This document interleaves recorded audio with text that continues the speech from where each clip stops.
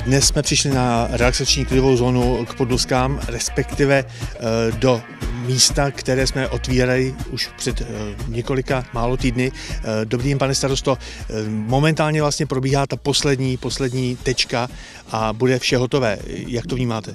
Ano, teď probíhá poslední fáze, to znamená vysadba stromů, která samozřejmě byla podřízena, nebo je podřízena povětrnostním podmínkám, tedy období, kdy je možno tuto výsadbu provádět, proto je až nyní a bude to vlastně, je to vlastně poslední fáze této relaxační zóny.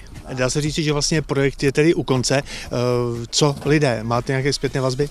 V podstatě tento projekt je ukončen touto výstavbou stromů. Už od samého začátku, kdy jsme otevřeli takzvaně zkušební provoz, zde bylo, jak se říká, plno, lidé uvítali tuto aktivitu, myslím si, že ji využívají maximálně.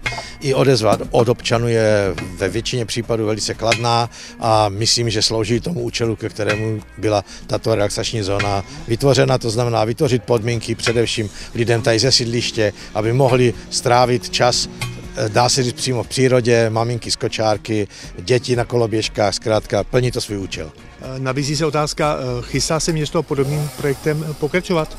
Už samotný projekt má dvě fáze, toto je první fáze a ta druhá fáze by měla pokračovat. Na druhé straně potoka Čepel, to znamená přes podlusky směrem druhou stranou zpět zase k sídlišti, aby se mohli zase takovým kolečkem lidé procházet. Tato fáze bude trošičku složitější, protože když jsme tuto, fá, tuto část eh, relaxační zóny stavili převážně na městských pozemcích, tak druhá strana Čepele jsou zase převážně pozemky soukromých majitelů, to znamená, bude nutno projednat, předjednat, případné pronajmutí nebo koupit těch pozemků, aby se mohla tato druhá etapa realizovat. Předpokládám, že tato první eh, etapa, která se povedla, která se setkala u veřejnosti s úspěchem, eh, vám vlastně otevře cestu, abyste si dohodli. No samozřejmě je to příklad toho, co se dá udělat pro občany, no a samozřejmě budeme i využívat toho ohlasu občanů právě při jednání i, i s, při řešení té druhé etapy. Já děkuji, naschledanou. Naschledanou.